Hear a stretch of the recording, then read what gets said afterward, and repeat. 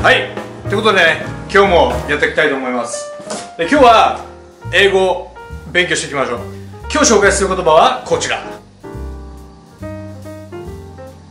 A bug で今日この紹介するバッグなんですけどあの A dollar 日本語でドルと同じ言い方です、まあ、学校で教わるのは、まあ、1ドルだったら A dollar で10ドルだったら10 dollars 100ドルだったら100 dollars じゃないですか。なんだけどあの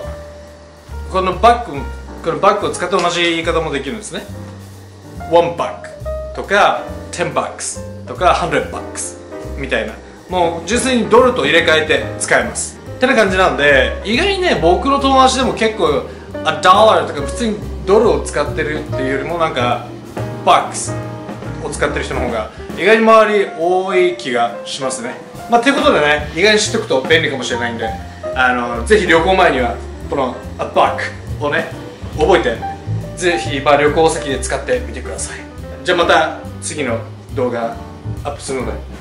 その時に会いましょう、まあ、この動画が良かったらいいねを押して登録よろしくお願いします。じゃあ。